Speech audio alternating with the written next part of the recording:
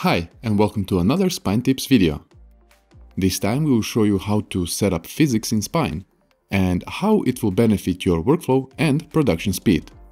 To start, check out this animation I made for our follow-through and overlapping action video. The pendulum hanging from the platform reacts to the platform's movement. It took a few hours to perfect.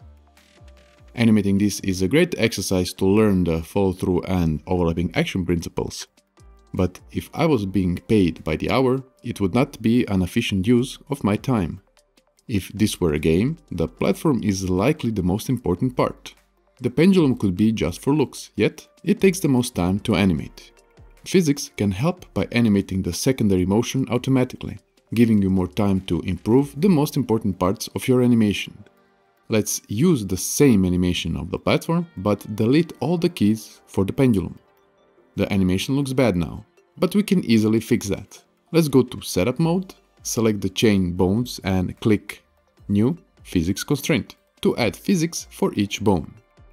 There are many properties to control how the physics constraints behave. Hover or press F1 for a brief description. I'll just leave the defaults for this example.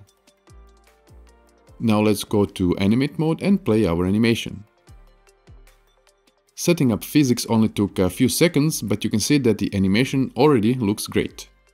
You would be hard pressed to animate it this well manually, and it would take a lot of time. But there is still more. Spine's physics react dynamically as animations change and the skeleton moves through the game world. Physics is an amazing time saver, especially in a production environment.